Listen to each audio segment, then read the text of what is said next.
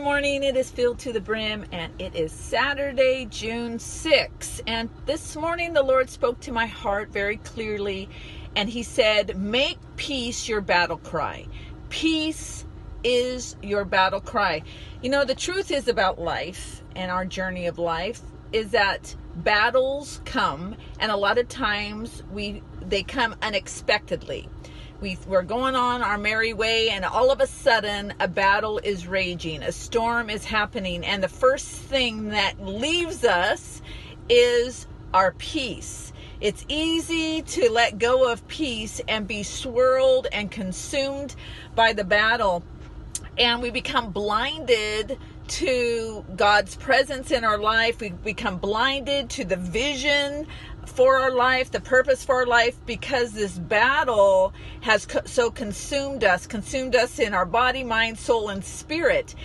And the Lord is saying, when you face those battles, even when they sideswipe you and come unexpectedly, declare, make peace your battle cry. A battle cry is the declaration that an army makes before they go out to fight the enemy. They declare something, and peace is to be your declaration because the greatest uh, enemy to the devil is the peace of God. Why? Because he is our peace. See, peace is not a feeling, it is a person and God is our peace. Ephesians 2:14 says that Jesus himself is our peace. Jesus is our peace. Peace is a person. It's not just a feeling. We can have peace and calm, but the truth is this, Jesus is our peace.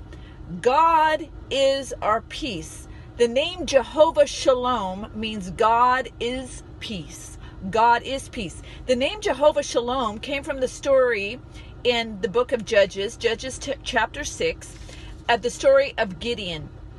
Now, Israel is being harassed, is being persecuted, is being dominated by the Midianites and the Amalekites. They, these two enemies merged together to fight or to harass, to steal from Israel. So Israel's becoming greatly impoverished by the enemy, fearful to face the enemy, and finally they've had enough and they've called out to God, and God is answering by calling Gideon.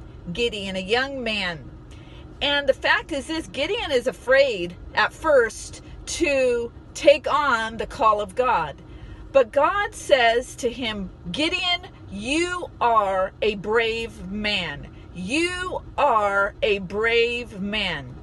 And then in Judges 6:23, the Lord says to him, "Peace to you.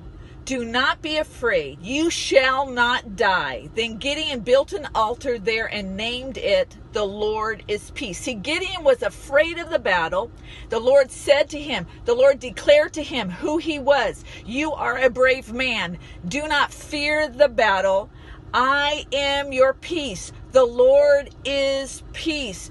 Do not deny your battle. Do not ignore your battle. The Lord says you should be brave in your battle. I am your peace. Because He is your peace, you can be brave in battle. You have union with Him.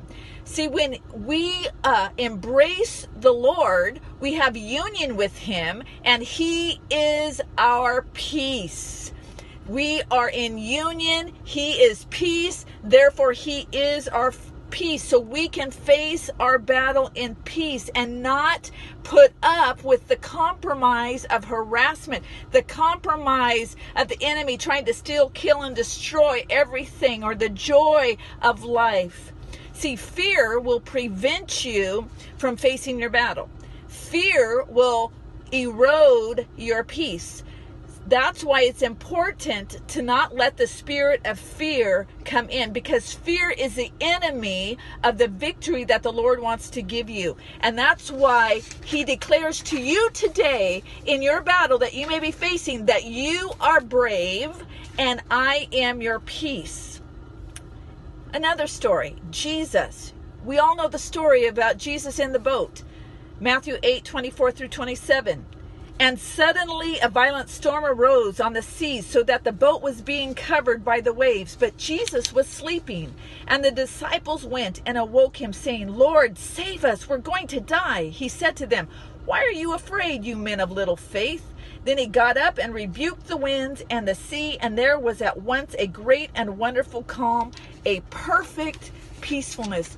Jesus was already there. He was in their boat. Yes, they experienced a sudden storm, a sudden battle. Their response was a lack of faith they forgot or they they forgot that the person who is peace the one who had created and done miracles even in their midst and healings in their midst. He was right there in their boat. And what was their response to the storm was that I'm going to die. The one who breathes life, they're afraid that they're going to die and they're dwelling with the very one who is peace. And Jesus rebukes their lack of faith, their lack of faith because he is peace. He brought peace to their storm. See, fear produces a lack of faith in what God can do in our battles, in our storms. So it is important for you to to not have a spirit of fear, but rather say, Lord, I believe, I believe. Even in the midst of your battle, say, I receive your peace because you are my peace. Right in the midst of this battle, right in the midst of this storm. What was created was perfect peacefulness over this storm. And the disciples learned a great thing Jesus is our peace. Listen, the enemy wants to stir fear in your mind.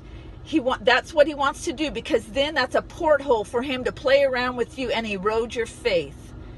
Paul writes in 2 Timothy 1 7, For God did not give us a spirit of fear, but has given us a spirit of power, love, and a sound mind.